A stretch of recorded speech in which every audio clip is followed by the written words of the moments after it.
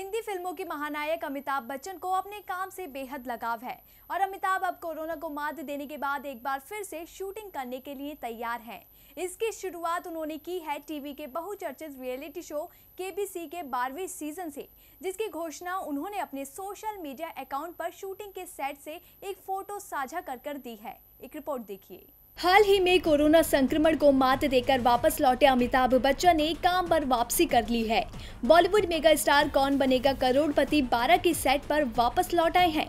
उन्होंने social media पर तस्वीर शेयर कर इस बात की जानकारी दी है।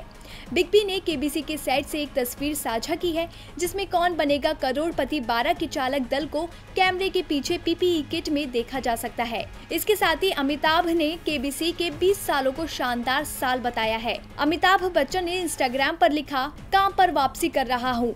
नीले पीपी किट के समुद्र के बीच में केबीसी 12 2000 से शुरू हुआ था। आज साल 2020 में 20 साल पूरे हो रहे हैं। आपको बता दें कि ऐसी खबरें हैं कि वे शूटिंग फ़िलहाल कौन बनेगा करोड़पति शो की नहीं, बल्कि उसके थीम शूट की है।